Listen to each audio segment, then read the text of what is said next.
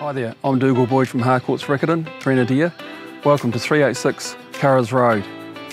We've got a lifestyle property here that offers a heck of a lot. We've got 10 acres, or 4 hectares.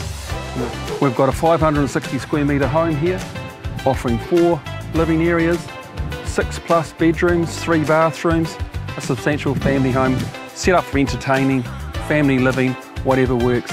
We've got workshops, stables, and a large barn also. Out the other side, we'll see that shortly, we've got tennis court over here, floodlit, and then we've got a large swimming pool, even with a diving board. So there's something here for everybody, I'm sure. So come on in and have a look.